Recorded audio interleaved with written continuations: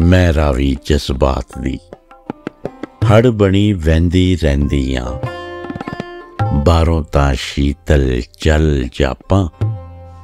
ਅੰਦਰੋਂ ਅੰਦਰੀ ਖੁਰਦੀ ਰਹਿੰਦੀਆਂ। ਅਨੇਕਾਂ ਜੀਵ ਸਮਾਏ ਮਨ ਅੰਦਰ। ਉਛਲ ਕੁੱਦ ਮਚਾਉਂਦੇ ਰਹਿੰਦੇ ਨੇ। ਬਾਹਰ ਕੱਢਣ ਤੋਂ ਡਰ ਲੱਗਦਾ। ਬਿਨ ਜਲ ਜਿਉਣਾ ਨਾ ਆਉਂਦਾ ਏ। ਜਦ ਲਹਿਰਾਂ ਬਣ ਜਜ਼ਬਾਤ, ਕਿਨਾਰੇ ਆ ਜਾਵਣ।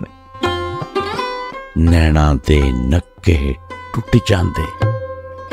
ਫਿਰ ਹੜ ਥੰਮਣੇ ਜਜ਼ਬਾਤ ਦੇ, ਹੋਰ ਵੀ ਮੁਸ਼ਕਿਲ ਹੋ ਜਾਂਦੇ।